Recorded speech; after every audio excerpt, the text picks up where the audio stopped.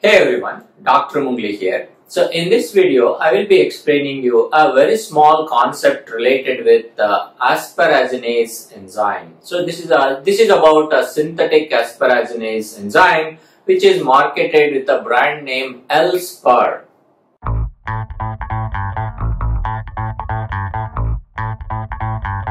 Now, what is the mechanism of Elspar? Elspar is a synthetic uh, asparaginase enzyme. So let, let me just uh, brief you out uh, the background and then I'll explain you how exactly and uh, where this Elspar is used. What is the biochemistry behind that? Now, we have an amino acid called aspartate which is one of the non-essential amino acid. So this aspartate in our cells, it can be converted into another non-essential amino acid called asparagine. Now the aspartate is converted into asparagine by an enzyme called asparagine synthetase enzyme. So this is the enzyme here, asparagine synthetase enzyme converting aspartate into asparagine.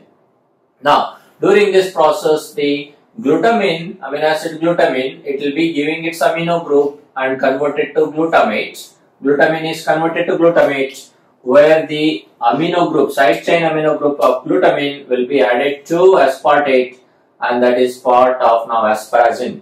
So the glutamine is the donor of the side chain amino group that is found in asparagine. This job is done by asparagine synthetase enzyme. Now, this asparagine can go into protein synthesis. So all of our cells, they have got ability to synthesize asparagine uh, from aspartate using asparagine synthetase. So this enzyme asparagine synthetase is expressed in all of our cells.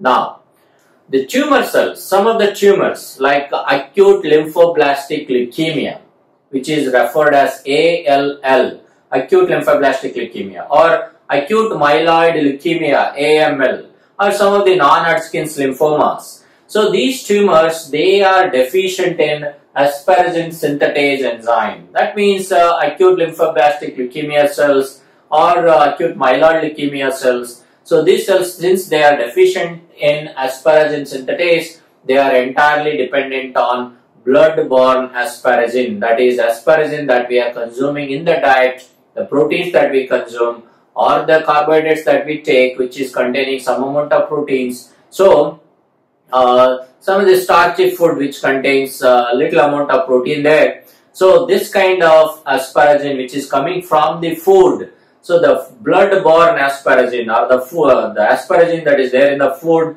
coming into the blood, that asparagine is used by acute lymphoblastic leukemia cells or the acute myeloid leukemia cells or some of the non-Hodgkin's lymphoma cells. So they will use that asparagine and uh, means make their own proteins for cell proliferation. Now, what is the applied aspect? One of the treatment for acute lymphoblastic leukemia or any tumors that are deficient in asparagine synthetase. So, the tumors deficient in asparagine synthetase, that kind of tumors can be treated by a drug called Elspar. So, the Elspar is a trade name and uh, it contains asparaginase enzyme. So this asparaginase, it is a synthetic enzyme which is uh, part of this Elspar. Elspar contains asparagine enzyme. So what this asparaginase enzyme it, uh, it does? Now the asparaginase enzyme, it is going to convert aspart asparagine back into aspartate. Asparagine here, asparagine is converted back into aspartate by adding water molecule, water is added into the reaction and uh, NH3 will be removed. So ammonia molecule will be removed, asparagine is converted back into aspartate done by Elspar. So the blood asparagine which is coming from our food, that blood asparagine level will be decreased. The person who is receiving Elspar injection usually given in intravenously, so asparagine levels in the blood decreases because asparaginase enzyme which is present in Elspar is going to convert asparagine into aspartate. So the blood levels of asparagine decreases. That means your tumor cells, that is acute lymphoid leukemia cells or the acute myeloid leukemia cells or some of the non-Hodgkin lymphoma cells which are deficient in asparagine synthetase, which they are they don't have ability to synthesize their own asparagine. They were dependent on blood-borne asparagine. Now you are decreasing the quantity of asparagine present in the blood because you are using ELSPAR, that means overall there will be drop or decrease in the availability of asparagine for the tumor cells. So they don't um, they don't have their machinery to synthesize their own asparagine. That's why the protein synthesis in these tumor cells will decrease. That will give that will decrease the uh, uh, cell load or the tumor load in the uh, in that particular patient.